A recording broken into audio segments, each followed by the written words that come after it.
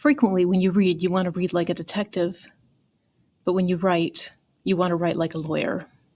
So when you read a text, you're breaking it down, you're looking at the pieces, just the way investigators might analyze a crime scene. You're trying to figure out what's going on, what the logic is, what happened, and that involves looking at the little pieces and seeing how they fit together. And when you go to write, you've done the thinking. At this point, you're the lawyer in court presenting your findings to your reader. This man is guilty.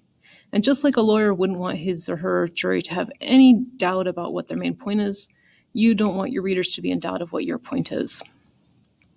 So let's say we're a lawyer, our thesis, that main point or main claim we're making might be the defendant is guilty. Then you'd want to take your jury, your reader, logically step by step through the subpoints that led you to that overall conclusion. He's guilty because he has a motive. Then you'd explain what the motive is. He's guilty because he was found near the crime scene. Then you'd explain why that was relevant. He's guilty because his alibi is false. You explain how you know it's false. So your main point should run through this entire argument and you should be leading your readers or your jury through these subpoints that prove that overall point. When we're writing an argument, and by argument I simply mean making a point about a text, we're the lawyers clearly laying out our logic for our readers. And we want our structure to hold together like this rather than just being a jumble of uh, loose ideas that don't really relate. So let's say you're writing a rhetorical analysis. The main question you're answering is, answering is, is the text an example of effective rhetoric? Why or why not? And when you've answered that question, you'll come up with your thesis statement. The next step then is coming up with a logical plan for proving that thesis statement. So let's say this is this is my thesis statement. This speech effectively fulfills its purpose by doing A, B, and C. Well, in this case, the plan for writing is kind of baked right into the thesis statement. You put your thesis up front, make it clear for your reader somewhere in the introduction, and then your body paragraphs could prove point A, could prove point B, could prove point C. Pretty easy, right? Now, what if you had a thesis statement like this? Although the speech fails at X, it ultimately succeeds because of Y. Well, what do you need to prove here? Seems to me the first thing you want to prove is that the speech fails at X, and then the next thing you'd want to prove is that the text succeeds because of Y devote part of your paper to the one, devote part of the paper to the other. And note that I've got the little however there. If you're doing contrasting ideas, you're absolutely going to need a nice strong transition to let your reader know that you've switched from uh, talking about one thing and moved on to another. Now let's take an example from A More Perfect Union, um, Obama's 2008 speech. Now, here's a, a, thesis statement I might come up with. Obama's speech, A More Perfect Union, is an example of effective rhetoric because he successfully uses logos, pathos, and ethos to communicate his message. Now, for some people, this thesis statement might be a little bit broad, but you know what? I would be perfectly happy if you could pull out examples of all three things from any text. That would be okay with me. In this case, again, it looks like you've got your, your plan baked right into the thesis statement.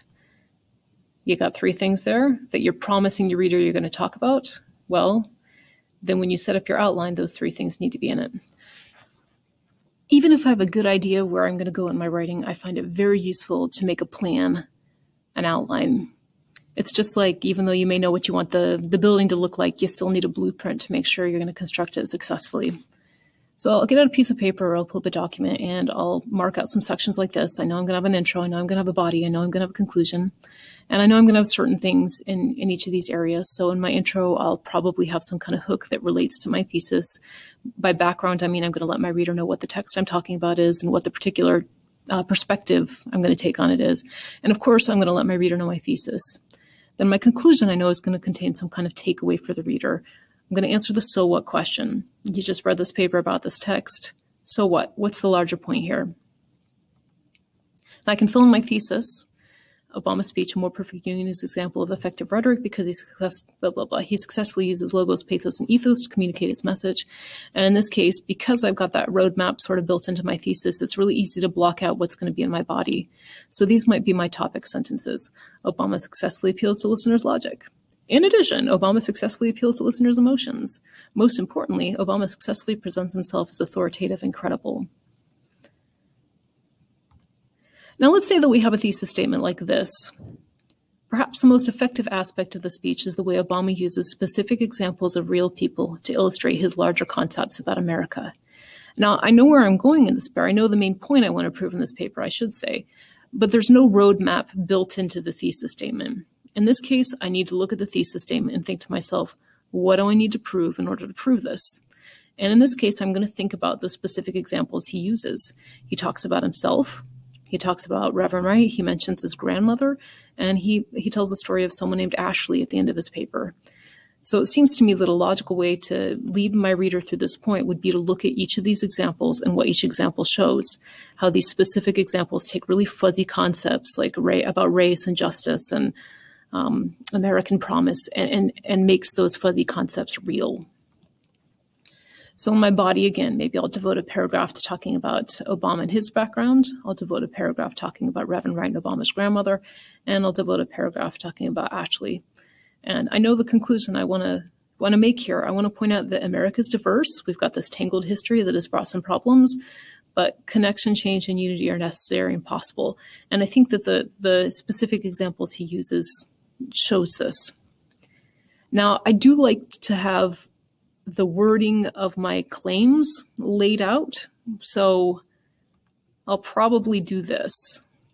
This is looking just at the body now, so I can zoom in a little closer. I might say for my first topic sentence, my first mini claim, Obama's own story illustrates the degree of diversity that exists in America. Then for my next paragraph, Reverend Wright Obama's grandmother, the real life examples of Reverend Wright and Obama's grandmother show that diversity can create conflict. And then finally, Ashley's story shows that connection between people of different ages, genders, and races is possible. We can perfect our nation and unite in a common cause. And if I just look at those topic sentences there, those hold together to prove my point. I think I've done what I need to do to prove my point if I can prove each of those subpoints. Now, before I actually get down to writing, I'm going to go to my text and I'm going to find the specific details I need so that within each paragraph, I can prove that point. So each paragraph almost follows the pattern of the paper as a whole. You make that clear claim, then you go through and you give the, the evidence, you explain it, give the evidence, explain it, give the evidence, explain it as many times as you need to do in order to make that point. And then you kind of reemphasize your point, close your paragraph. Again, just looking at one potential body paragraph here, this is what I might put. I've got my topic sentence. I'll go through the text and then I'll just jot down the things I'm seeing there that prove that point. And I usually am not going to use full sentences. If there's something that I see that's really quotable, then I'll, I'll write that down word for word. I'll make sure I keep it in quotation marks. So later on, when I go to write, I don't think that I wrote that great line myself. And if there are page numbers, I'll use them. Once I've gone through this process, then the actual writing should be pretty easy. Or let's not kid ourselves. Maybe not easy, but easier. Writing is complicated, right? You're trying to think about how everything works as a whole, how the big pieces fit together. You're also having to think about the evidence you want to use, and you have to put that all into nice words. So if you've gone to the the effort beforehand to figure out what you want to say and what evidence you want to use, that when you get to the actual writing and you're facing that blank page, all you really need to do is worry about putting the stuff into nice sentences that sound good. Okay, let's take a look at one more potential thesis statement. Perhaps the most striking aspect of the speech is the way Obama uses his own identity and his personal experiences as a metaphor for his larger points about the promise and problems of America and to prove that he can be a, good leader. Now, if I am working with this thesis, it's actually kind of like I'm talking about the, the first point in my previous example, but I think I could write a whole paper here. Now, again, I don't feel like I've got the roadmap baked into this thesis statement. So I can think, what do I need to prove in order to prove this point?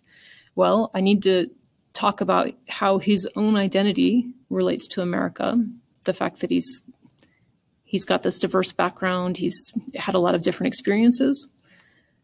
Okay, and then maybe I need to talk about some of his own personal experiences that he lists. So first of all, who he is and what he's experienced. So I kind of have two ideas going on here.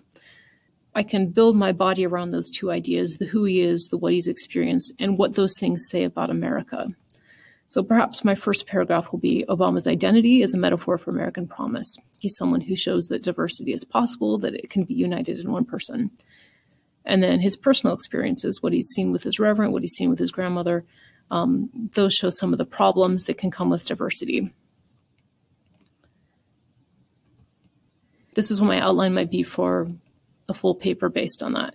Again, I typically am not using full sentences, just little snippets, but I've gone through, I've thought about what I want to say, I've gotten back to the text, I've pulled the specific examples I want to use, and then with this in hand, it would just be a matter of putting these ideas into sentences that sound nice. Again, I think the metaphor of being a lawyer is very useful. You've done the crime scene investigation, you've figured out who the guilty party is. Now you need to present that in a way that's clear and logical that other people can follow, write like a lawyer. But we got enough lawyers in the world, so perhaps a better analogy for the process might be this. You're the one who sees how pieces fit together, and you can show that to the reader. Good thinking and a good plan can help.